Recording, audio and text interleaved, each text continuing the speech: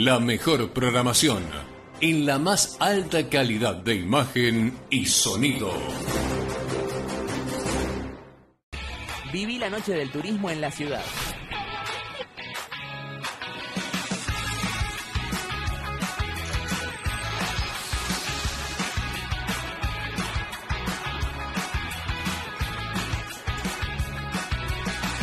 Buenos Aires siempre te espera. Turismo Buenos Aires. Noticias en HD, edición central. Toda la información local, regional, nacional e internacional. Con nuestros corresponsales en distintos lugares del país y del mundo. Toda la actualidad del día con el mejor staff del periodismo local y regional.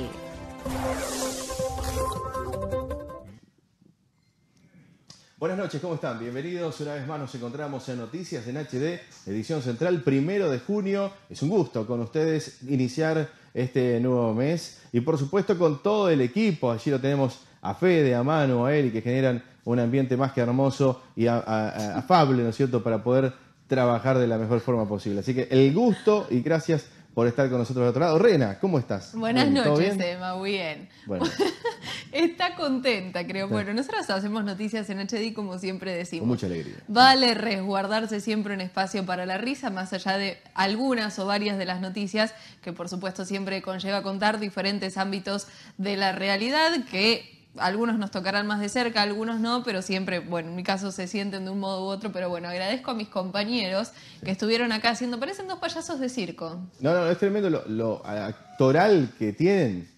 Es, por favor, ¿eh? A ver, los voy a ir a buscar. Eh, vénganse, por favor, los dos.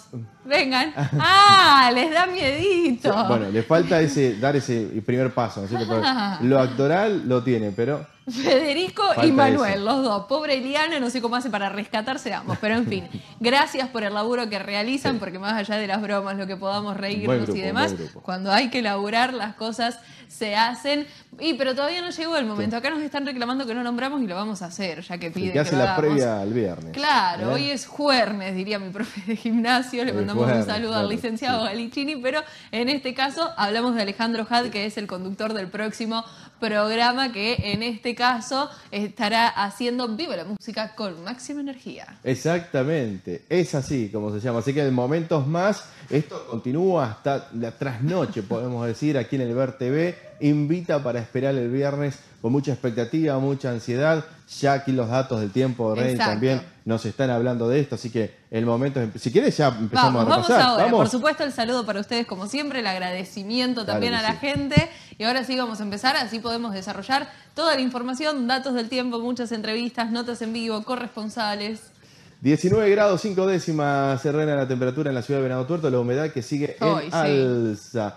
La presión atmosférica 1001.7 hectopascales, el viento que sopla del noreste no se ve, pero aquí tenemos la visibilidad que es 10 kilómetros. Hoy la neblina estuvo presente en la ciudad de Venado Tuerto, no se veía casi nada, pero después el sol rompió todo tipo de expectativa que teníamos en cuanto a una jornada completamente inestable. El día viernes tenemos, mire, una, mire esto, ¿eh? Mire, observe esto, una mínima de 15, máxima de 24 grados. Es decir, que esto de dos días de frío y el resto de días calurosos se da. Es un fenómeno que se da, no es algo que surge al azar, sino que realmente son hechos y registros que tienen su antecedente en años pasados. Estamos hablando un viernes con neblina también, ¿eh? atención a la neblina durante el transcurso de la madrugada y la mañana, por la tarde mayormente nublado y por la noche podríamos llegar a tener algo de chaparrones, del 10 al 40% podríamos llegar a tener inestabilidad. Durante el transcurso del fin de semana nos vamos inmediatamente porque vale la pena ya pensar en lo que viene. Y viene un sábado con una mínima de 12 y máxima de 23 grados. Mayormente presencia del viento del norte. Podrían llegar a darse algunas lluvias aisladas, pero es muy baja la probabilidad que tenemos para que esto suceda. Del 10 al 40%. Viento del norte para el día sábado. Tendremos una escalerita de 12 grados, 16, 23 y terminamos el sábado con 18. ¿Cómo nos vamos a quejar de eso? El día domingo, mínima de 14, máxima de 20 grados. El domingo, mayormente nublado, un poquito de ingreso del viento del sur. Y para la próxima semana les vamos a contar en momentos, en minutos, durante el transcurso de las próximas horas, bloques de Noticias en HD. ¿Qué es lo que sucede ya en la semana completa del mes de junio? 19.5 en Venado Tuerto en este momento.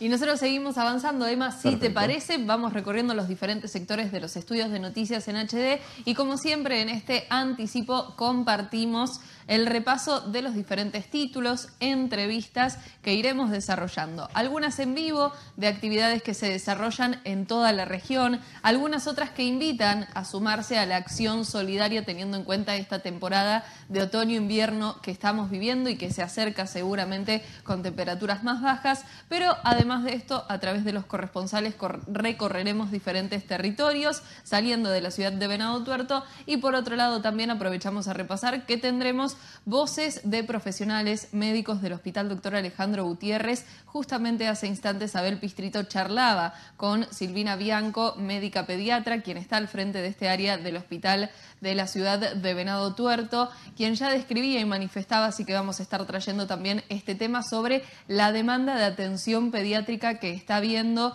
incluso en el área de internación y qué estrategias están llevando adelante para poder dar respuesta. Como así también, por otro lado, regresaremos al Consejo de la Ciudad de Venado Tuerto para enterarnos sobre otros proyectos, ordenanzas, en algunas cuestiones que siguen trabajando los ediles venadenses. Por otro lado, también nos adelantaremos al fin de semana para ir repasando distintas e interesantes propuestas que se darán en Venado Tuerto. Y además nos iremos hacia la sociedad rural de la ciudad de Venado Tuerto porque en este caso se realizó la renovación de toda la parte directiva de las autoridades y por primera vez una mujer estará y está presidiendo la Sociedad Rural de Venado Tuerto. Esto lo iremos desarrollando en instantes porque antes, Emma, ya tenemos información. Es así, Rena, vamos a hablar sobre la situación actual en cuanto al dengue, que va en baja. Es la buena noticia porque el número de casos de dengue en la provincia de Santa Fe bajó esta semana un 17% respecto del anterior, al contabilizarse 498 nuevos pacientes, lo que da un total desde el inicio de la epidemia de 20.276. De esta forma, la tendencia a la baja continuó como en las semanas precedentes en lo que refiere al dengue. En tanto, no se registraron nuevos contagios de fiebre chikungunya, con lo cual la cifra se mantuvo en los 144 casos informados la semana anterior. El informe fue difundido hace momentos por la cartera sanitaria provincial. Indica que en el acumulado, que llegó a 20.276 casos, prácticamente la mitad correspondió al Departamento General Obligado. Seguimos hablando de que los más afectados son el extremo norte de la provincia de Santa Fe. Allí se ubican las localidades más, más afectadas hasta estas últimas semanas, entre ellas Villa Ocampo, 2.415 casos, Las Toscas, 2.008, Reconquista, 1.198, Avellaneda, 708, Malabrigos 531.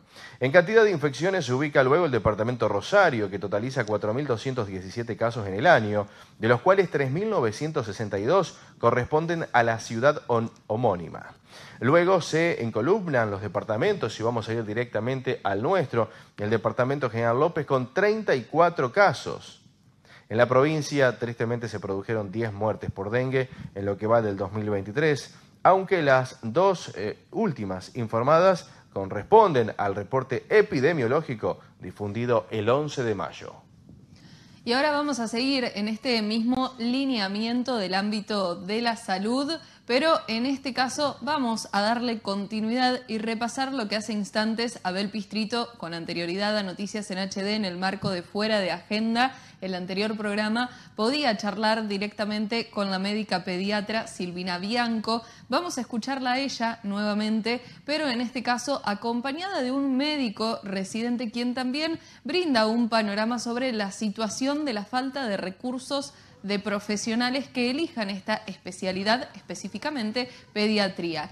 La situación, la demanda fue surgiendo y se da de forma generalizada internacionalmente, luego llegó a nuestra República Argentina y esto está sucediendo en todo el territorio. La demanda incluso tiene que ver con bebés de tan solo algunos días, por lo tanto la sugerencia y advertencia y la solicitud es que quienes están a cargo de estos niños pequeños, bebés, muchos de ellos, reciban la colocación de las diferentes vacunas que están a disposición para de esta manera hacer hincapié en la prevención. Pero además los profesionales del área de pediatría nos contarán cuáles son esas enfermedades que año tras año en esta época en esta temporada de otoño-invierno regresan, remarcando además que durante la época de pandemia, si bien fue muy duro por el COVID-19. Claramente el barbijo había y generó evitar que se contagien todo este otro tipo de enfermedades que hoy vuelven a verse, generando, como decíamos, una gran demanda en Venado Tuerto. También esto sucede y además la faltante de recursos en este área como es el área de pediatría. Así que vamos a enterarnos a través de ambos profesionales cuál es la situación, de qué modo empezar a prevenir y de esta forma activar las estrategias y herramientas que están al alcance de todos para hacer en conjunto la salud. Muy bien, estamos en el hospital, voy a hablar con Silvina Bianco, que es la jefa de pediatría, y con Emanuel Álvarez, eh, porque llega la época estacional, donde bueno, los más chicos sobre todo sufren distintos tipos de patologías, enfermedades. Quería saber cómo están trabajando respecto a eso y, cómo está, digamos, el hospital en ese sentido. Buen día. Bueno, buenos días para vos, Santiago. Un gusto verte, como siempre, y para toda la audiencia. Estamos colapsados, este, como se lee y se ve en todos lados, en Argentina. Eh, hace unos meses atrás fue España, bueno, Europa, y ahora llegó principalmente en estos momentos el virus incisional respiratorio con las bronquiolitis para los bebés pequeños, los lactantes pequeños, muy pequeñitos, entre 30 días y 3 meses principalmente. Así que bueno, estamos trabajando muchísimo eh, con una sobredemanda en lo que tenemos en, actualmente en disposición.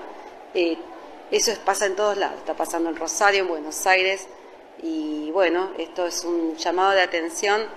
Gracias por acercarte para poder acompañar a la comunidad, eh, a los que son, los que cuidan a sus bebés, es muy importante la prevención. Si toca, por supuesto, el sincicial, eh, vamos a acompañar el sincicial con la bronquiolitis, una dificultad respiratoria grave, pero es muy importante eh, establecer que tengan que las vacunas completas, las vacunas completas son fundamentales. Ahora está comenzando a circular el virus de la gripe y hay una vacuna para eso. Así que les hay manera de prevenirlo. Sí, la gripe sí, el sincicial hay como una vacuna especial, pero es para ciertos bebés como prematuros o cardiópatas. Lo que sí, la forma de prevenir es la lactancia materna, eh, evitar el hacinamiento, evitar eh, tener todo cerrado, caliente, o sea, tener siempre, ventilar los ambientes, si el adulto está enfermo, ponerse un barbijo, y las vacunas, no solamente, no hay vacuna de sincicial, pero hay vacuna, por ejemplo, del coqueluche, del neumococo, que están dentro del calendario nacional a partir de los dos meses de vida, por eso es importante el calendario completo. Te quería preguntar a Manuel, que si no me equivoco es residente, eh, con esto que hablaba eh, Silvina, con el tema de la saturación de, pacientes que tienen, eh, ¿cómo, se, ¿cómo se hace para digamos, arreglárselas para poder atender a todos? Porque nadie queda sin atenderse dentro del hospital.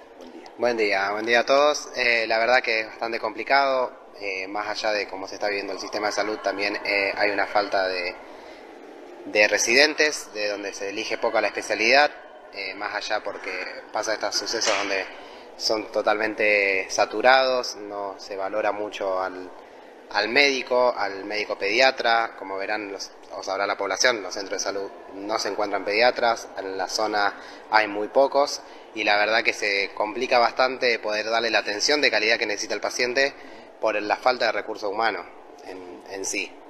Em, sí. Emanuel, cuando hablan de, saturación, digamos, ¿cuántos chicos están atendiendo por día o por semana? Y por días, eh, día de semana se atienden de 100 a 120 de pacientes y el sábado y domingo se duplican. Fin de semana es cuando más se complica. Se duplican y ni hablar, obviamente, cuando hay algún paro o algún centro de salud que no está atendiendo o eh, si es un feriado largo. Eh, también se complica bastante y la verdad que el recurso humano es el mismo durante toda la semana. A veces hay un pediatra solamente de guardia o dos, eh, inclusive cuando nosotros estamos ayudando obviamente en la atención. Y es demasiado por la, lo que concentra Venado Tuerto, que es Venado Tuerto y la zona sur al ser nodo.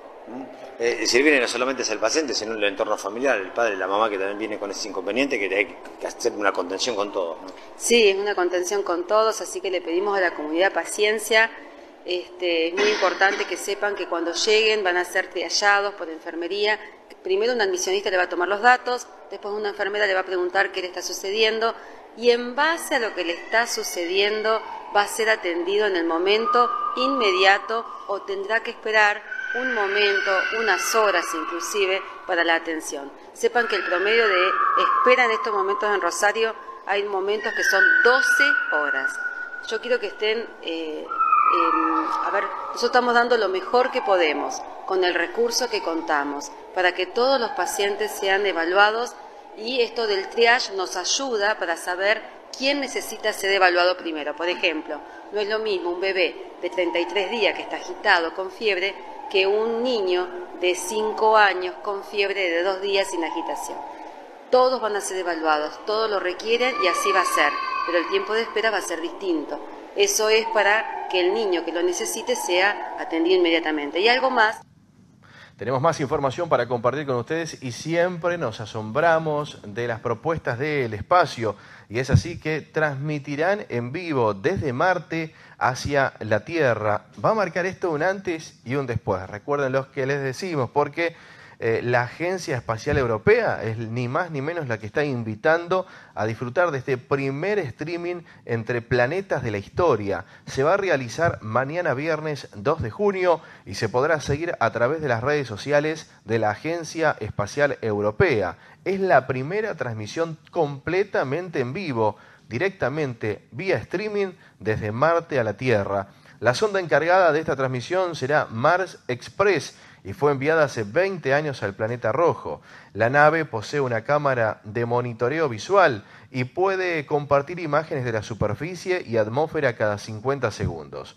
La transmisión será a través del canal de YouTube también de la ESA durante la mañana de este viernes. Es la primera transmisión que se realiza en la historia y se espera que sea el primer paso de un gran avance en investigación astronómica. En estos 20 años que el Mars Express lleva en Marte, detectó evidencias de acuíferos subterráneos gigantes. También compartió imágenes del polo sur de Marte. La cámara de monitoreo fue totalmente diseñada para observar la separación del módulo de aterrizaje Black 2 fue encendida nuevamente para actividades científicas de divulgación sobre el planeta. La cita es entonces mañana por la mañana y a través del canal de ESA, de la Agencia Espacial, que permitirá de forma completamente gratuita acceder a esta propuesta de esta transmisión de Marte a la Tierra. Nosotros tenemos más información para compartir con todos ustedes. Volvemos a la Tierra puntualmente porque la Sociedad Rural de Venado Tuerto es la que nos convoca en esta oportunidad tras la celebración de la octogésima sexta Asamblea General organizada. Cambian las funciones porque tenemos nueva directora de la Sociedad Rural de Venado Tuerto que tiene ya el gran y amplio desafío por cierto, ya se han concretado o se están concretando las primeras reuniones rumbo a Expo Venado 2023. Vamos a conocer su lectura, mirada sobre este desafío que no se esperaba ni de acá a 20 ni a 50 años, pero de un momento a otro está allí al frente de la Sociedad Rural de Venado Tuerto y vamos a conocer los antecedentes, también lo generacional que está detrás de Noelia Castagnani. Sí, no suena el apellido, pero ella va a ser quien nos, nos comparta esta definición y cuáles son los planes de trabajo de aquí a futuro. Muy bien, estamos en la Sociedad Rural de Venado Tuerto con ella Castagnani, que es flamante presidenta eh, y que va a ocupar por primera vez en la historia el cargo, el máximo cargo de, esta entidad ruralista, eh, este, siendo mujer, así que eh, lo cual es un doble desafío, estimo. Primero, felicitaciones por el cargo eh, y segundo, cómo te preparas para esto y, si ya lo venías pensando de alguna manera o se dio ahí justamente en, esa reunión de comisión directiva. Noelia, buen día. Buen día. Gracias por recibirnos. No, gracias a ustedes por venir. Eh, mira, la verdad que no lo venía pensando, no estaban mis planes ni de ahora ni acá 20, 50 años. Eh, fue algo que surgió, eh, bueno, me propuso un miembro de la comisión directiva. Eh, que cuando me lo dijeron dije, está loco. Pero bueno, después de, pensarlo, analizarlo un poco, me pareció que era un hermoso desafío y aparte de, pensarlo, lo hablé con todos los miembros de la comisión, todos estuvieron de acuerdo y les pareció bárbaro. Eh, así que bueno, acá estoy asumiendo. Noelia, pero además venís con un bagaje previo que tiene que ver con tu trabajo en el Ateneo, por ejemplo, y además venís, digamos, de una familia, de una tradición familiar que tiene que ver y está muy vinculada no solamente con, con CRAS, sino también con, con la rural. Así que sé que no es una tarea sencilla, pero eh, un respaldo importante. Sí, sí, bueno, eh, como bien dijiste vos, sangre ruralista, porque bueno, mi papá hace, no sé, 20 años más o menos que, está vagando acá. Eh, y bueno, y toda familia productores, yo soy la tercera generación de, productores de la familia, entonces como que entre la sangre ruralista y la producción es como que creo que es una buena conjunción para, para estar acá. El primer gran desafío será la expo que se viene no digo a la vuelta de la esquina, pero estamos bastante cerca. Ya, estamos. Sí, sí, es el primer desafío que ya veníamos trabajando y bueno, eh, ayer tuvimos la primera reunión con la nueva comisión directiva, o sea, con los nuevos integrantes que están con muchas pilas, así que bueno, estamos muy contentos y, estamos reenchufados metiéndole eh, muchas ganas a eso, así que bueno, esperemos que... No sé si vamos a superar lo del año pasado, porque lo del año pasado fue muy grande, pero bueno, por lo menos tratar eh, en cuanto a la situación económica de este año, poder volver a, tener algo similar. Pero eh, quería apuntar a eso porque lo hicieron en época de pandemia, lo hicieron en épocas más difíciles. Eh, se hizo de manera ininterrumpida, que es algo este, muy importante, digamos, en cualquier entidad, de que, no se corte eso, y que además fue tomando a lo largo del tiempo otros matices, ¿no? Porque antes era solamente para un sector, que era para el sector este, agroindustrial, para el sector ganadero, y ahora es como una fiesta de todos, ¿no? Eh, dentro de la rural. Eh, ¿Va a pasar por ahí? ¿Va a tener esa misma temática? Sí, sí, sí, sí. Eh, o sea, esa es la esencia de la rural, no se va a perder.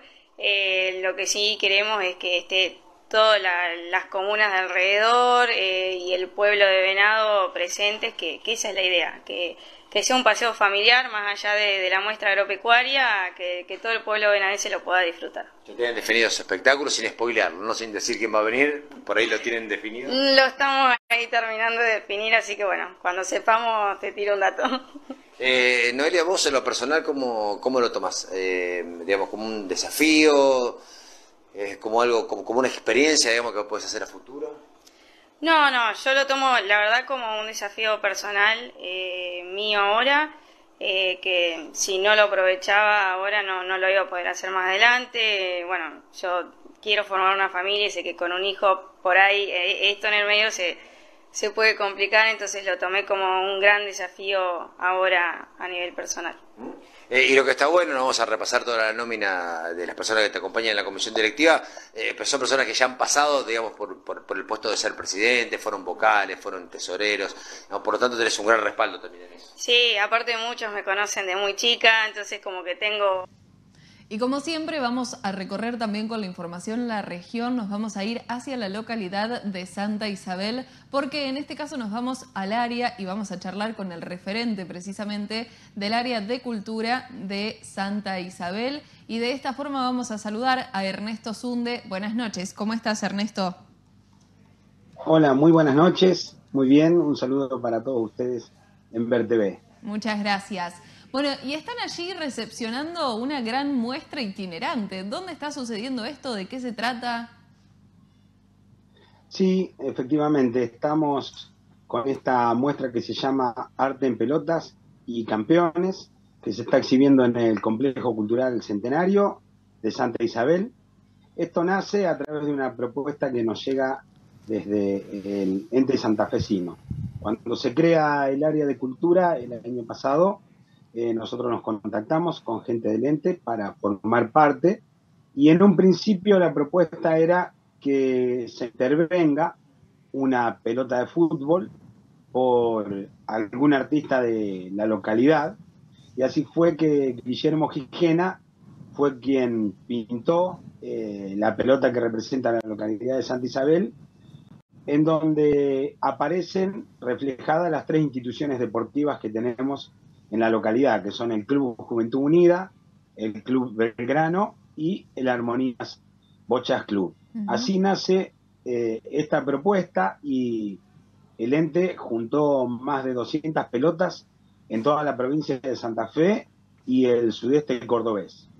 Y se lanza, esta muestra se, se presenta eh, por primera vez el año pasado en, en, la AFA, la gente del ente la presenta junto a, a Chiquitapia, y luego de ahí comienza el, recorrido de esta muestra por toda la provincia y por Córdoba. Ernesto, ¿y cuál es el objetivo fundamental de esto, de esta muestra itinerante? Vos bien marcabas que las pelotas se fueron reuniendo de todo el territorio santafesino, de las localidades, por lo tanto representa también lo territorial, pero ¿cuál es el objetivo detrás de esta muestra itinerante que fusiona e integralmente expone tal vez sobre la mesa muchísimos otros valores, intenciones, diferentes aspectos de la realidad?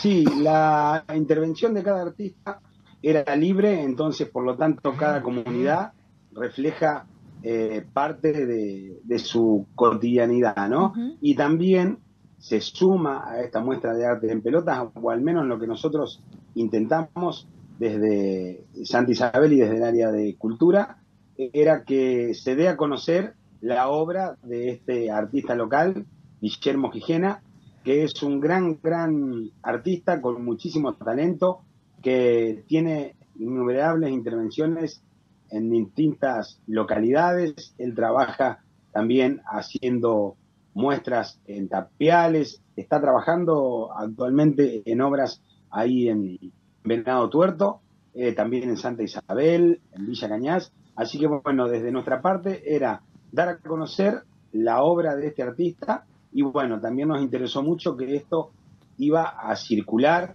por la provincia y que también en algún momento iba a llegar a Santa Isabel. Entonces, de esa manera, despertar también el interés sobre la plástica en los niños y jóvenes de la localidad. Eso nos interesó mucho, por eso cuando llega el día lunes la muestra de Santa Isabel, invitamos a, a este artista isabelense, a Guillermo, a que esté presente en la obra muestre, explique y comente las distintas técnicas y cómo se inspiró él al momento de tener que trabajar sobre la pelota. Así que, además de la muestra, también lo que buscamos es que surja el entusiasmo dentro de, los niños y jóvenes y niñas, como te decía, eh, sobre esta actividad de, de la pintura, ¿no? Ernesto, qué gusto saludarte. Bueno, si hablamos de, Guillermo, ya hablamos de, excelente calidad en, los trabajos. La verdad que aquí también ha dejado su marca, su sello y lo sigue haciendo todos los días y representándolo muy bien a ustedes, ¿no es cierto?, desde, desde allí. Eh, consultarte eh, si van a estar en un punto específico, qué día se puedan acercar, eh, cuándo va a estar abiertas las puertas, si la región también puede participar. Sí, claro, cómo no. Eh, gracias por la pregunta. La muestra eh, está en el Centro Cultural Centenario.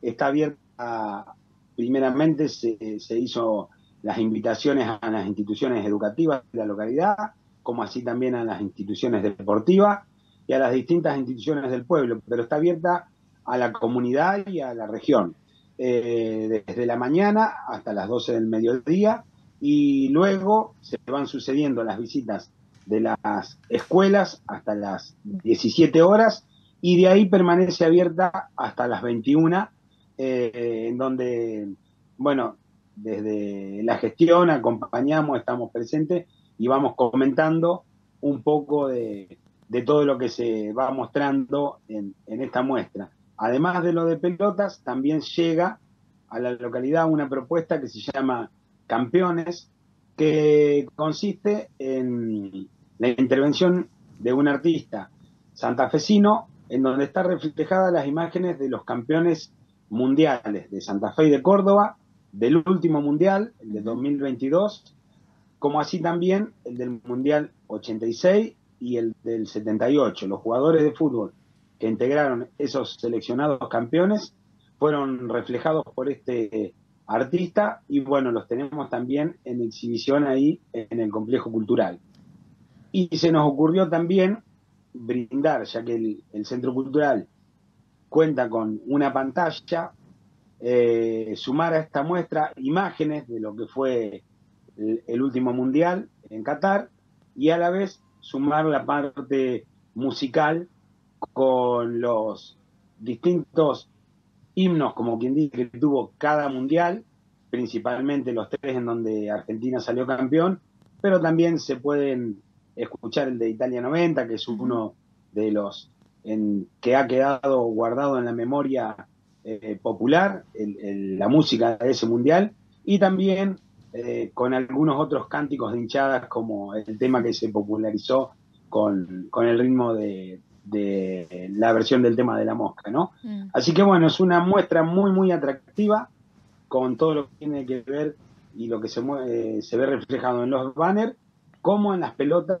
que la verdad que hay una variedad impresionante de, de imágenes, de ideas, en el caso de Santa Isabel fue un artista el que intervino en la pelota, pero en otras localidades fueron, fueron jóvenes, fueron niños, fueron instituciones las que reflejaron eh, la idiosincrasia de cada lugar, ¿no? Así que es muy, muy rica y muy atractiva la muestra que, por suerte y agradecido a Lente, llegó en estos días a Santa Isabel.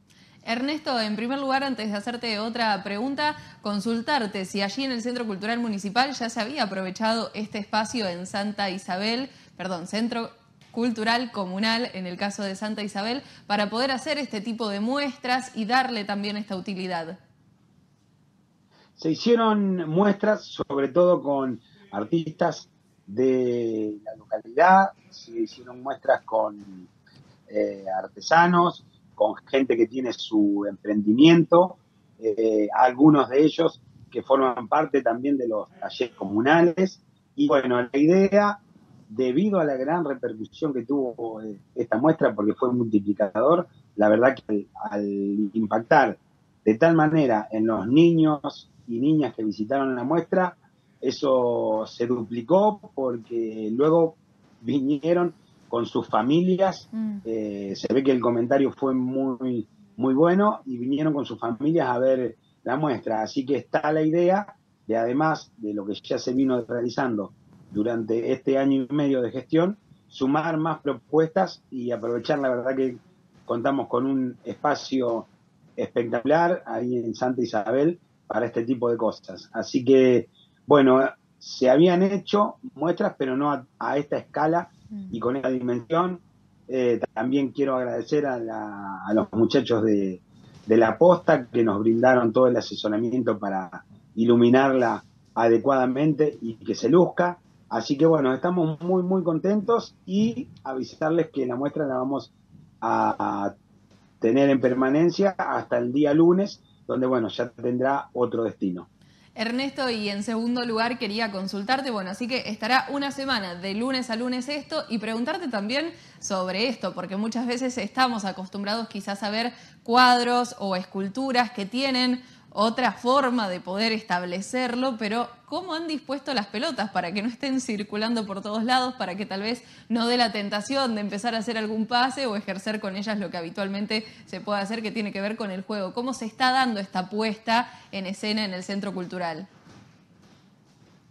Bien, eh, el Centro Cultural cuenta con un espacio eh, muy amplio. Para lo que tiene que ver específicamente con pelotas, contamos eh, con mesas que son parte del mobiliario del centro cultural, que tienen una figura circular, lo cual facilita para exponer las pelotas. Y también contamos con unas tarimas que están colocadas en el centro eh, y en donde están exhibidas las pelotas. Y trabajamos con, con distintos niveles porque vienen niños, jóvenes y adultos, o sea, están expuestas en distintos niveles como a distintas alturas. Desde el ente nos mandan las pelotas y una pequeña base en donde están depositadas cada una de las pelotas. Hacemos la recomendación eh, de que por favor no hacerlas picar, no, no patearlas, obviamente, pero sí la posibilidad, como están pintadas, y es una esfera, de poder levantarla, manipularla lo menos posible pero sí que tengan la posibilidad de verla de cerca y poder ver eh, las diferentes obras, ¿no? Así que bueno, eso con lo que tiene que ver con, los fútbol, con las pelotas y los banners están dispuestos, colgados debajo del palco que tiene la, el complejo cultural, están colgados eh, los de los jugadores que pertenecieron al Mundial 78, los campeones, del lado izquierdo, la selección que fue campeona del mundo en México 86 del lado derecho, y en el hall de entrada están exhibidos todos los banners que forman parte de la última selección campeona el año pasado. Bien. Ernesto, aprovechamos a preguntarte qué otras actividades llevan adelante allí en la localidad de Santa Isabel con la perspectiva de promover, de gestionar y de poder brindar espacios culturales. Sí, bueno, además de la gran variedad que tenemos de, talleres que salen desde la comuna, hay un gran acompañamiento también a las instituciones que son eh, culturales y artísticas desde la comuna, a través de, becas, a través de fomentar, incentivar y tratar de generar y poner en valor todo el arte local.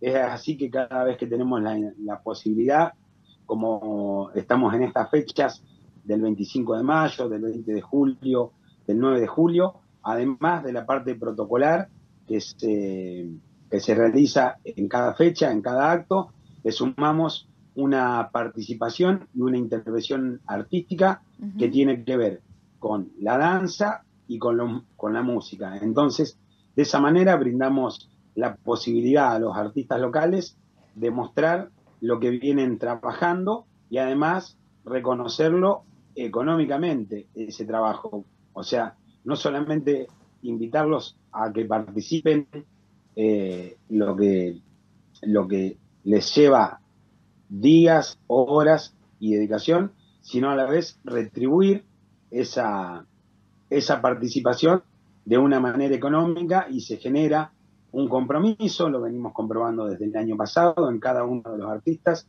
en cada momento que son convocados, de llegar a la fecha y presentarse con un sonido adecuado, con un repertorio adecuado, escuchándose bien. Así que bueno, todo eso pone en valor y dignifica también la profesión de cada uno de los artistas eh, tenemos, hemos pasado el verano con también trabajando en conjunto con el área de producción, haciendo un paseo gastronómico artesanal en una de las calles frente de la plaza, en donde bueno, se brindó todo el despliegue y la logística para que cada uno de los artesanos y emprendedores de Santa Isabel pueda mostrar sus productos y nos llenó de satisfacción porque algunos eh, se presentaron por primera vez en, esa, en ese paseo y hoy están siguiendo con esa actividad. Es como que fue el puntapié inicial y hoy están eh, ofreciendo y vendiendo sus productos, principalmente gastronómicos. También durante el verano se hizo una noche de bares, eh, aprovechando la cercanía que hay en el, en el centro de la localidad de dos bares y bueno, se brindó la posibilidad a la gente de acercarse y ofrecerles también números musicales. Y bueno, con respecto a lo que tiene que ver también con cultura, se viene desarrollando un ciclo de cine en la misma sala del complejo cultural, totalmente gratuita. Y tenemos pensado en los próximos días eh, realizar por segundo año el torneo de bolitas que tiene un carácter provincial. La primera etapa es eh, local, los ganadores de esa instancia pasan a la etapa regional y luego a la final a nivel provincial.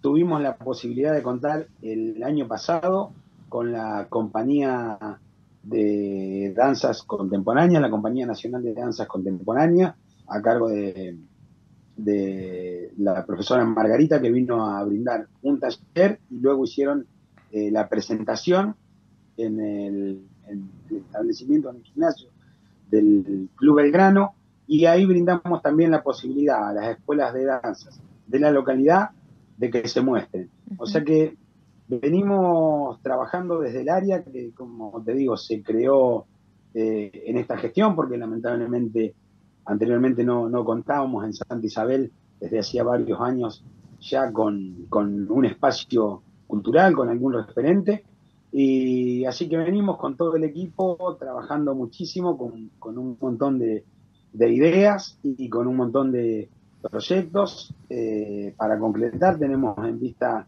este año repetir la, la edición de Elvira Isabel, porque contamos en nuestra localidad con dos artesanos cerveceros, eh, sumarle a ese evento las propuestas artísticas. Tenemos pensado repetir la experiencia que tuvimos con el Festival Internacional de Parejas, donde el año pasado nos visitaron seis parejas de distintos países de Latino y Centroamérica. Está proyectado repetir esa experiencia. Y bueno, si, si todo va bien, depende de las elecciones, eh, el resultado ya venimos proyectando lo que va a ser todo lo del verano con, con el evento eh, característico de Santa Isabel y conocido, el a todo pulmón. Exacto. Ernesto, te agradecemos enormemente por este tiempo, por permitirnos con la imaginación ir hacia esta muestra que hoy Santa Isabel recibe y que seguramente seguirá recorriendo todo el territorio provincial, como así también ya empaparnos y tener en cuenta estar atentos de las diferentes propuestas que seguramente seguirán surgiendo desde la localidad de Santa, Fe, de Santa Isabel en las fechas venideras. Muchas gracias y un fuerte abrazo. Éxitos. Por favor, muchísimas gracias a ustedes por, por estar atentos en lo que pasa en nuestra pequeña localidad. Eh, siempre fue eh, destacable la, parte cultural de, Santa Isabel. Hay músicos y bailarines de Santa Isabel en diferentes partes de la provincia, del país y también en otras partes del mundo. Así que agradecerles a ustedes por permitirnos contar lo que venimos haciendo en nuestra pequeña aldea, pero que sin lugar a dudas nos permite salir de Santa Isabel al mundo y también recibir, como te contaba, eh, la experiencia del año pasado del Festival Internacional de Parejas, recibir eh, gente de otros países en nuestra comunidad. Así que muchísimas gracias por permitirnos contar todo lo que estamos haciendo en nuestro querido Santa Isabel. Brevemente Un gran abrazo. te tengo que preguntar, ¿sos de los Hunde de la Marrupeña? Soy, sí, de los Hunde de la Marrupeña que hace poquitos días estuvo cumpliendo los 50 aniversarios. Felicidades. El 10 de mayo precisamente. Así que bueno, ahí estuvimos también trabajando, acompañando, celebrando y festejando estos 50 años de, actividad ininterrumpida con el arte eh, de la marupeña. Así que muchísimas gracias por la pregunta también. Un fuerte abrazo, hasta pronto, gracias. Así Un fuerte abrazo, gracias, adiós. Muchas gracias. En este caso, Ernesto Zunde, referente del área de cultura de la comuna de Santa Isabel, puntualizando sobre esta muestra que tiene como objetivo las pelotas de fútbol intervenidas con distintas manifestaciones artísticos que tienen la posibilidad de disfrutar hasta el próximo lunes y desde ya también haciendo un repaso de las diferentes propuestas que siguen trascendiendo en la localidad de Santa Isabel y de otra manera aquellos eventos que se han ido sumando. Vamos a consultarle a nuestros compañeros de control si ya vamos con la próxima invitada. Nos dice que sí, así que Emma, vamos con vos. Bueno, Reina, vamos a presentar este gesto solidario que una vez más podemos darlo a conocer a través del VerTV y tiene que ver con el tejetón solidario que verdaderamente es un orgullo para Venado Tuerto y toda la región. Cristina Museca es la presidenta del barrio Centro 1 y va a ser ella quien nos confirme sobre esta concreción y también de qué forma se va a estar dando en este 2023. Se está dando en este transcurso de esta temporada de otoño-invierno. Cristina, es eh, un gusto enorme saludarte. Buenas noches. Hola, ¿cómo te va? Bien, bien, muy bien.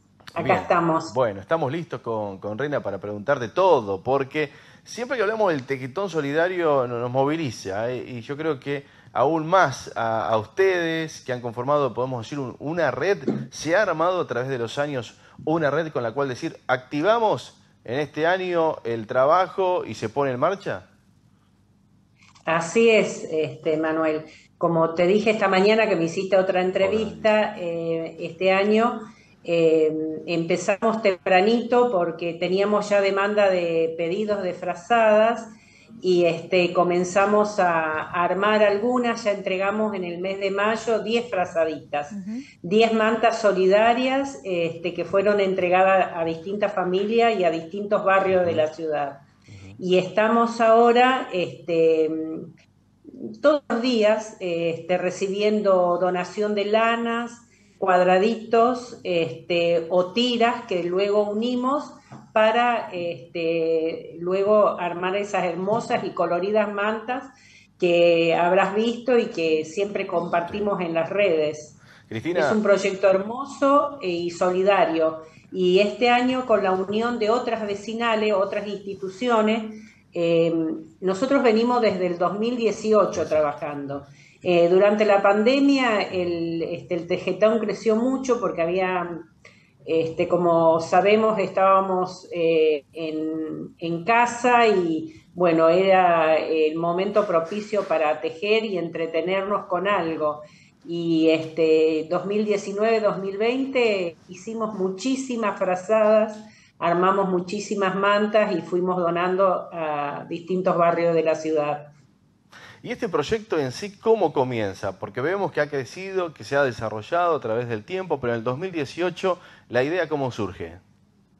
Y surge como un taller en la vecinal, empezamos este, miembros de la comisión a, tejer y a invitar a vecinas que se, eh, que se quisieran sumar y empezamos a tejer.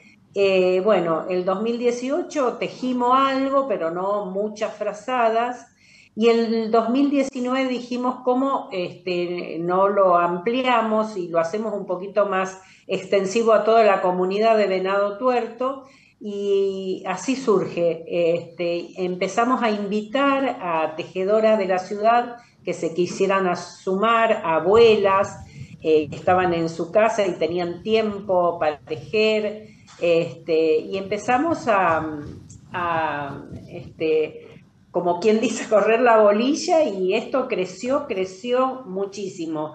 Un año estuvimos con Rotarac y la Liga de Madres de Familia y este año este, se sumaron la vecinal del barrio San Martín, la vecinal de, del Centro 2, la vecinal de, este, eh, de Ciudad Nueva y nosotros.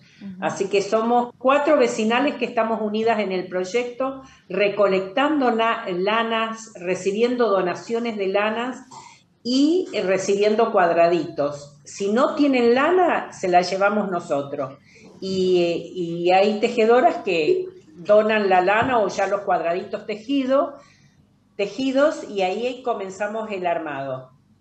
Cristina, buenas noches. Es un gusto, una alegría saludarte y en este caso preguntarte, porque bien marcabas, de qué forma se puede ayudar las instituciones barriales que también actualmente se están sumando, pero cómo hacen la evaluación quizás para poder finalmente llevar todo ese amor, toda esa solidaridad que se materializa en una frazada, lo donan a instituciones, a espacios o instituciones públicas, a personas, a familias específicamente. ¿Cómo hacen ese proceso de elección? Eh, claro, eh, generalmente donamos a instituciones. El año pasado y otros años a muchísimas instituciones llevamos como a la casa, como a... Mm, este, ahora en este momento no me acuerdo, pero muchísimas instituciones de la ciudad recibieron nuestras mantas.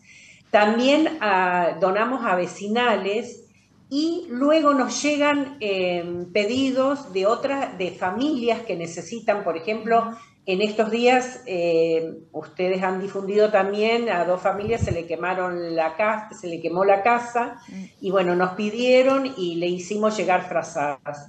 Y después este, también llevamos al comedor de los, de los niños de Miriam, hace poquito llevamos algunas frazadas que también nos pidieron y nos llegan pedidos y nosotros le hacemos llegar la frazada.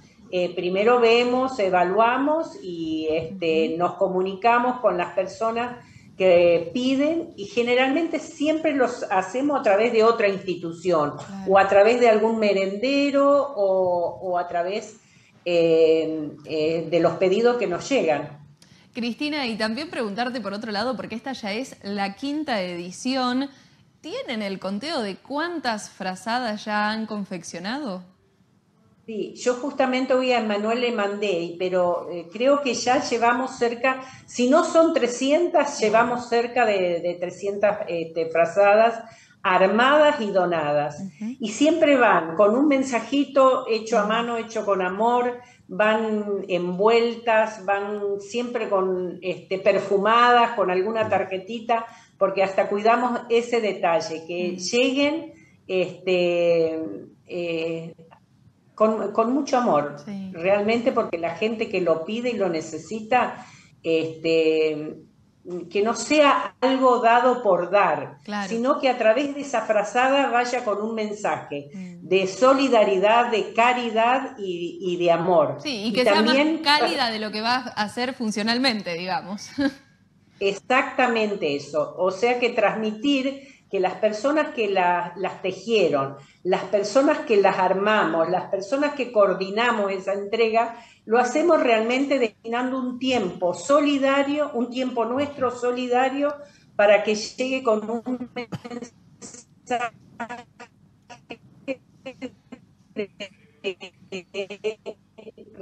realmente de, de mucha amorosidad. Cristina, por otro lado, preguntarte, porque recuerdo que creo que el año pasado se, dio a conocer esto. Sí, te fuimos recepcionando, pero entendimos, y ahí estás nuevamente. Pero el año pasado realizaron también una jornada, un encuentro que fue, digamos, en un espacio público que tiene que ver con el centro de la ciudad de Venado Tuerto. ¿Podés contarnos sobre esto? Si mal no recuerdo, fue en la intersección de Avenida Casey y Mitre. Este año van a repetir esta actividad y de qué se trató fue en la Biblioteca Alberdi, eh, que es una institución tan emblemática de la ciudad y del Centro 1, como son la mayoría de las bibliotecas, pero la Biblioteca Alberdi está en el centro de la ciudad y este año, eh, la verdad que lo hicimos en la plazoleta 26 de abril y, este, y en la biblioteca. Este año nuevamente la volvemos a repetir. Eh, va a ser otra vez, gracias a, a la comisión de la Biblioteca Alberdi, eh, que nos prestan las instalaciones, la volvemos a hacer, si el día está lindo, este, la vamos a hacer también en la plazoleta, pero si hace frío solamente vamos a ocupar el espacio de la Biblioteca Alberdi. Así que los invitamos a todos a partir de, del mediodía, de las, creo que va a ser a partir de las 14 a las 19 y 30 horas. Así que todas las tejedoras de la ciudad que quieran acercarse a tejer, a, aportar su granito de arena para después tener y armar este, mantas, las esperamos con todo gusto. Y el que no sabe tejer, quiere traer lana, también lo vamos a recibir porque eh, la lana está cara y por ahí muchas tejedoras no tienen los medios para comprarla, pero sí quieren tejer. Así que todos los que quieran sumarse, vamos a celebrar el Día del Tejido y el Día del Vecino con las cuatro vecinales que te nombré antes. Cristina, es eh, reconfortable, es también hecho con mucho amor cada uno de estos trabajos, porque podemos ver eh, que es hasta desestresante, ¿no es cierto? Muchos utilizan esta, esta práctica por eso. Eh, ¿En cuánto tiempo más o menos se hace una? ¿Cómo es la elaboración? ¿Cuáles son algunas de las historias de vida de aquellas personas que se están sumando como tejedoras? esta cercanía que tiene, bueno, ¿qué cuenta? ¿Qué historias surgen?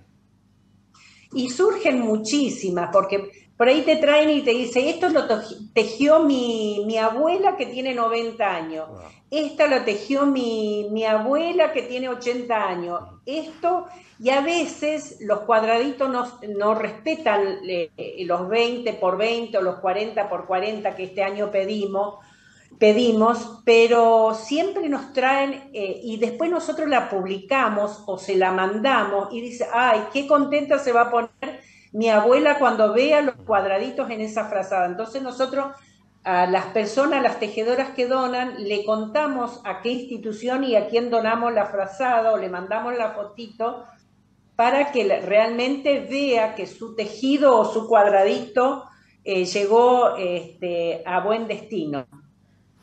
Cristina, y eh, para nosotros, para nosotros es muy reconfortante, porque la verdad que la alegría que, este, que cuando recibimos esos cuadraditos eh, nos emociona, porque y cuando las personas lo reciben, dice, hoy alguien eh, va a dormir calentito, o qué linda que estaba esa frazada, qué colorida, qué perfumada. Y bueno, la verdad que a nosotros nos reconforta muchísimo, porque es realmente un acto para nosotros de amor y de entrega a lo que estamos haciendo.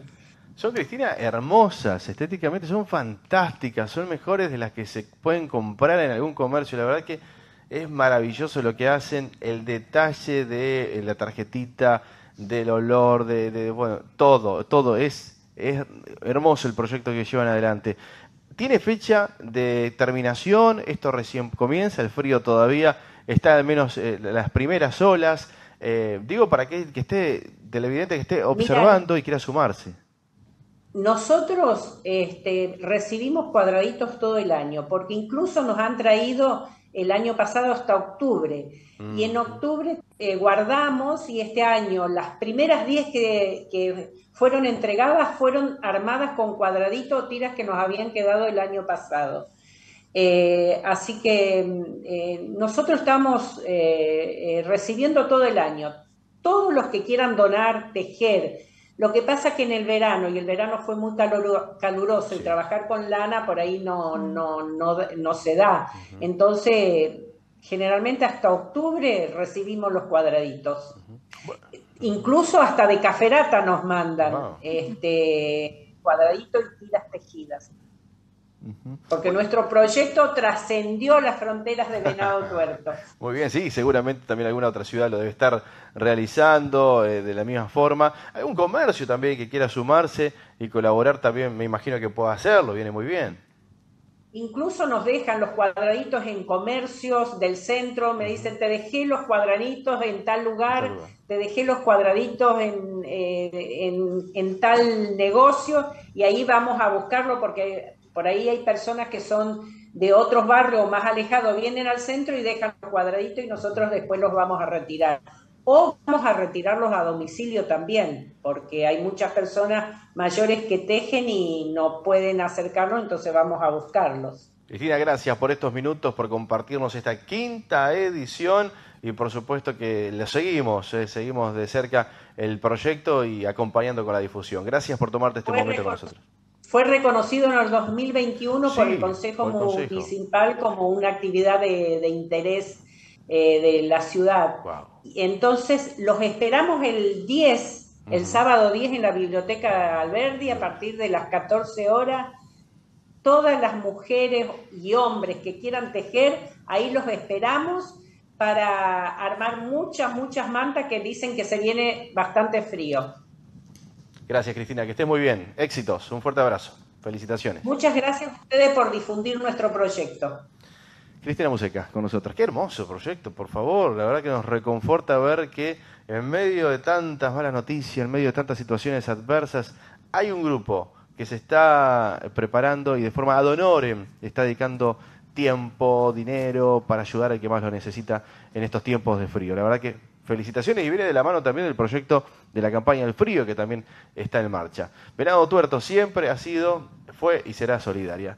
Tenemos más información para compartir con ustedes y también un reconocimiento para esta argentina, una científica, actual directora del Servicio Meteorológico Nacional, pero hace un saltito más, va hacia el Servicio Meteorológico Mundial y es nuestra, es argentina, así que es verdaderamente un orgullo la científica argentina que será la mujer al frente del Servicio Meteorológico Mundial. Su nombre eh, em, es, eh, lo vamos a dar a conocer con nombre y apellido para que ustedes la tengan en cuenta cuando esto ocurra, porque se va a dar el primero de agosto de este 2023. Estamos hablando de Celeste Saulo. Esta científica argentina va a ser la primera mujer en ocupar la posición de mayor relevancia a nivel global en materia de tiempo, clima y agua. Podemos decir que vamos a tener la información de primera mano. ¿eh? En Argentina vamos a tener la información oficial porque es nuestra y se prepara para ser eh, una de las secretarias generales de la institución más importante a nivel internacional. La decisión fue tomada durante el Congreso Anual que celebra este organismo de la Organización de las Naciones Unidas en Ginebra. Saulo, quien era vicepresidenta de la OMM desde 2018, asumirá la dirección general el primero de enero del 2024. La Argentina se impuso frente a candidatos de China, de Rusia, de Suiza, de Alemania durante el Congreso Anual del organismo. ¿Cuáles fueron sus primeras palabras? Mi ambición es conducir este organismo hacia un escenario en el que la voz de todos los miembros sea escuchada por igual, priorizando aquellos sectores más vulnerables destacó la Argentina tras ser elegida.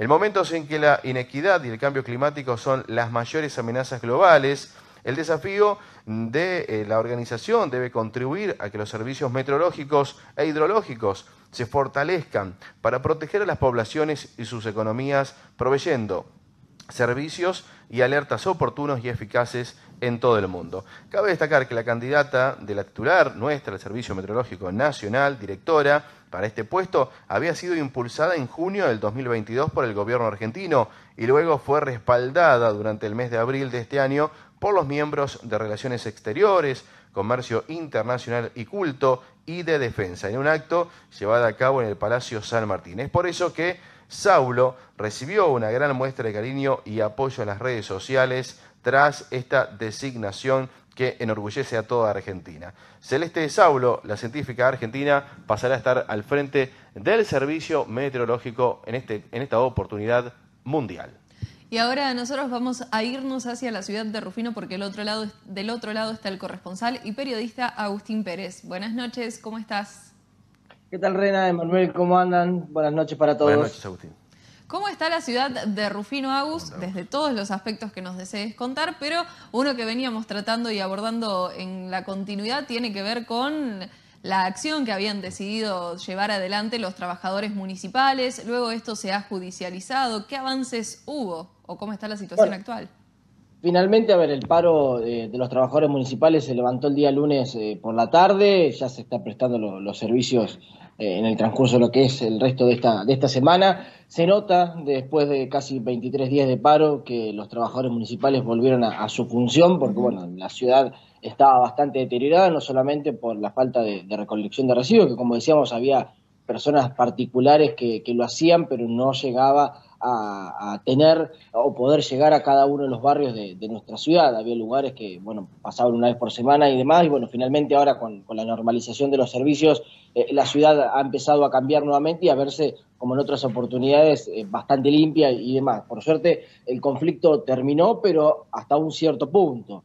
Eh, el intendente, a través de, este acuerdo que llegaron en el, Ministerio de Trabajo, de, traer la, la medida previa al conflicto y de volver los dos días de paro descontados y que no, suponemos, no va a descontar estos casi 23 días de paro que hubo en Rufino, eh, va a continuar en, la instancia judicial, tanto en la civil como en la justicia penal. En la civil para que determine si el paro es legal o no es legal y en el caso de que la justicia diga que es un paro que es ilegal, el intendente o el municipio, como ha dejado en claro el intendente el día lunes, va a proceder a descontar los días de paro que no se han trabajado. Tanto los dos días que ya se devolvió la plata, que se descontó en un principio, se devolvió ahora, bueno, en el caso de que la justicia le dé la razón al intendente, descontaría esos días de paro más estos 23 días de paro que tuvimos a lo largo del, del mes de mayo. En el caso contrario, bueno, finalmente quedaría eh, en un fallo judicial en contra del municipio y quedaría la situación de, manera normal. Pero por otro lado, la justicia penal lleva a cabo la investigación sobre las agresiones que recibió el intendente municipal aquel martes, donde más de 500, 600 personas se concentraron en Rufino, distintos puntos de la provincia, a, bueno, a protestar, no solamente por el tema de las asignaciones familiares y la obra social IAPO, porque recordemos que ese martes era un día de paro provincial de, de 72 horas, eh, sino también por el conflicto local. Por lo tanto, bueno, desde la justicia se está investigando, tratando de identificar quiénes fueron las personas o los autores de, de las agresiones. No ha trascendido si hay personas imputadas al respecto y también por el tema de la denuncia o de la presentación que había hecho la municipalidad con respecto a la retención de la maquinaria, que como decimos, los trabajadores estaban de paro, por lo tanto ninguna maquinaria prestó servicio. Bueno, el intendente presentó una, especie de denuncia eh, para poder sacar la maquinaria, que finalmente en ese día, cuando hace dos semanas atrás, cuando la policía se acercó al lugar para desalojar, eh, no, no pudieron sacar la maquinaria, quedó la situación ahí media, media nula. Por lo tanto, bueno, son varias aristas que tiene este conflicto o que dejó este conflicto, que bueno, que por lo tanto en este momento sigue la instancia civil y penal, que bueno, la civil va a demorar, como sucede en este ámbito judicial, los fallos o, este tipo de cuestiones no son de manera inmediata, ¿no? Agustín, sabemos que marca un antes y un después cuando se pone en marcha el trabajo de los servicios a través de los empleados. Me imagino que la ciudad habrá notado esto, ¿no? Durante estos días. ¿Y cuál fue el abordaje que le dio también el intendente en este aspecto? Bueno, a ver, eh, eso obviamente, como, decía al principio, la ciudad no estaba, eh, a pesar de que volvemos a repetir, el, cuestión estacional de, que estamos viviendo hace que la ciudad esté siempre de manera, poner un poco sucia por, por la tierra, por las hojas eh, que, caen en el otoño, pero a esto se le sumaba la recolección de, residuos que, por ejemplo, no, no se recolectaron durante veintipico de días, a pesar de, vuelvo a repetir, de que había personas particulares. Eh, la ciudad vuelve a la normalidad poder reactivar no solamente la cuestión de limpieza de la ciudad, sino de obras, de mantenimiento de los espacios públicos del municipio, ya sea plazas, el parque municipal. Eh, por ejemplo, uno de los datos para darles, los trabajadores que se dedican al mantenimiento del parque municipal, esta semana, a medida, el día martes, una vez que se levantó la medida de fuerza, no están trabajando en el parque, sino en la limpieza de, de la ciudad. La idea es de tratar de que esto tenga el menor coletazo posible eh, que en menos de una semana, ya llevamos del día martes hasta hoy, y algunos lugares se está recolectando, se están limpiando la, ciudad, pero obviamente esto afecta al intendente en, la cuestión de la gestión, ¿no? Eh, mucha gente ya estaba media molesta porque, sí, bueno, no tengo la basura dentro de mi casa, a pesar de que está la planta de reciclado y demás, eh, bueno, no todos tienen la costumbre de decir, bueno, si no pasan los recolectores, agarro una camioneta, un auto, en bolso bien la basura que llevo a la planta. La planta está abierta las 24 horas, si no, en el horario nocturno habían puesto un carro afuera para que la gente, si estaba cerrada, depositara en ese lugar. La gente también, convengamos que es un poco cómoda. Está bien, pagás los servicios, vos querés que te pasen a buscar la, la recolección de residuos, pero bueno, también la ciudad vivía una situación particular. Y después, a ver, ver si el intendente continúa con este planteo, por ejemplo, de terciarizar eh, la recolección de residuos, que lo dijo en varias oportunidades, que estaban elaborando un proyecto. Eh, veremos si, si, avanza con esta medida, obviamente va a tener que, tener la aprobación del Consejo Deliberante de esta situación, pero bueno, hasta ahora no hubo novedades al respecto de, con respecto a las últimas declaraciones que brindó hace un par de días atrás. Bien. Agus, ¿algún otro tema que haya que traer aquí a Noticias en HD desde Rufino? Bueno, nos metemos un poco, si les parece, en, el ámbito, el ámbito político. Eh, Rufino va a tener eh, elecciones, como toda la provincia de Santa Fe y el país también a lo largo del año, ¿no? Pero en la ciudad se va a vivir una, situación particular. Luego ya podemos decir con la oficialización de las listas por parte del Tribunal Electoral, eh, que vamos a tener dos candidatos a intendente. El intendente de Rufino por los próximos cuatro años se va a decidir eh, por primera vez en la historia de Rufino en las PASO.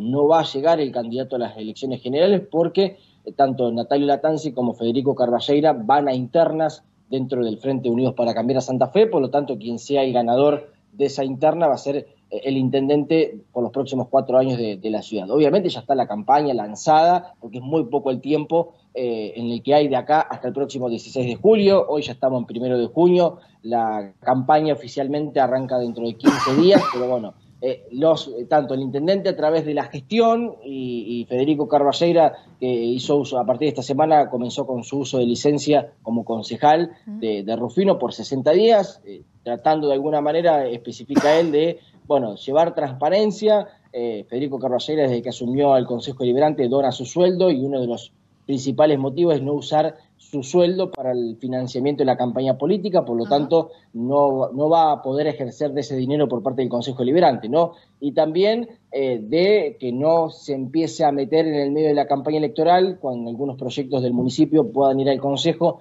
que se, no se le hagan modificaciones o no se aprueben, no se empieza a hablar de que, bueno, como aquel persona o Federico Corrayer es candidato a intendente, me traba los proyectos. Por lo tanto, decidió tomar licencia por el cargo de, concejal por 60 días hasta que termine la campaña electoral y, bueno, y veremos qué pasa eh, con esta definición, que como decimos, es bastante atrayente teniendo en cuenta que las elecciones paso, pasan todos lados, el nivel de concurrencia de votación es muy baja. Eh, seguramente pasa que entre el 50 y el 60% del padrón electoral de los que están habilitados para votar concurren a votar en una elección paso, no como una general que sabemos que se define, ya sea un intendente, un concejal, un diputado, un presidente, un gobernador, eh, hay más concurrencia. Bueno, hay bastante entusiasmo por, por, la, por la ciudadanía y de parte de los candidatos de que haya gran concurrencia en las pasos teniendo en cuenta la, magnitud que tiene esta elección. ¿no? Bien, Agus, te agradecemos como siempre y te decimos hasta pronto. Abrazo grande chicos, nos estamos viendo. Así pasaba el periodista Agustín Pérez, que como siempre también podés ampliar todas las informaciones en el Facebook del VerTV a través de las diferentes entrevistas que se llevan adelante. Y nos había quedado pendiente seguir avanzando con diferentes entrevistas. En el día de ayer traíamos la palabra de algunos concejales de la ciudad de Venado Tuerto, miércoles día de sesión y se le sigue dando tratamiento al proyecto de que se pretende concretar de la playa de camiones en la ciudad de Venado Tuerto. En esta oportunidad vamos a escuchar a uno de los referentes del Sindicato de Camioneros del Sur de Santa Fe. Hablamos de Hugo Carnero, que desde su lugar también traen su opinión. Bien, voy a hablar con Hugo Carrero, que es secretario de Prensa y Cultura y también encargado de todo el departamento del Sindicato de Camioneros eh, acá en el sur de Santa Fe, obviamente, eh, porque aprobaron el tema de la playa de estacionamiento de camiones. Eh, ¿Fueron ustedes, junto con gente de la CGT, como para poder Em, eh, aportar lo suyo, las ideas que puedan tener, los pros y las contras. Bueno, finalmente se dio de todo esto. Eh, ¿Qué opina de todo esto y qué conclusión pueden hacer? Hugo, buen día. Eh, buen día. Sí, mira, nosotros nunca, al contrario, siempre vemos con buen ojo una playa de estacionamiento en la ciudad, debido a que hay muchos camiones también en la ciudad y bueno, por ahí genera dificultades de la, de la visión de los vecinos, los chicos, todo eso. Bueno, eso solo planteamos en el Consejo y bueno, todos los proyectos que se hagan eh, en bien de, la comunidad lo vemos importante.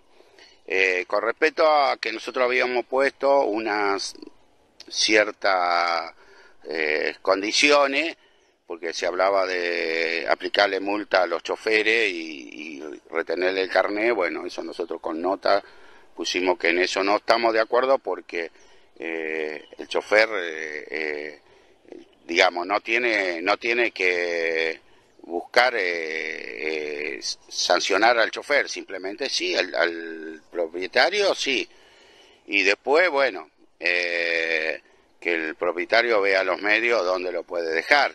Digamos, si no quiere poner dejarlo en la playa, bueno, buscará su lugar donde el camión esté resguardado pero después que, se sancione al trabajador, nosotros no estábamos de acuerdo. Eh, bueno, eh, bien no sé eh, la situación como quedó, es el planteo de nosotros, que bueno, me irán a hacer llegar, seguro, alguna nota de, del Consejo para ver los puntos que modificaron para poder nosotros alertar y avisarle a, especialmente a los trabajadores camioneros que se han afiliado al sindicato camionero. Lo que me pareció positivo es que los hayan invitado a participar, digamos, usted y toda la cúpula de la CGT, en, poder intercambiar ideas.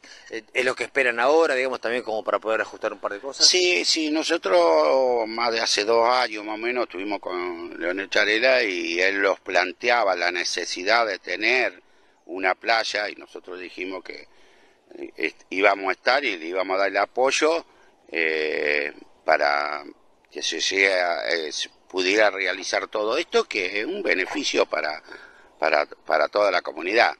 Y bueno, después lo invitaron del Consejo, eh, fuimos, nosotros expusimos eh, el resguardo de los trabajadores, que no se le aplique multa, que sacaran eso, ese, ese, ese mm, decreto que habían puesto ellos en la ordenanza y bueno, eh, todavía no, no, sé bien si lo sacaron o no y bueno, que al, titular del camión, eh, si no acata la orden que el, la ordenanza, bueno, eh, se le sancionará con multa con esas cosas, pero a nosotros como dirigente de camioneros y dirigente de los trabajadores, eh, eso es lo que nosotros creía que, era lo necesario de, sacar de, digamos, de la, de la medida que tomaba la, municipalidad o el consejo.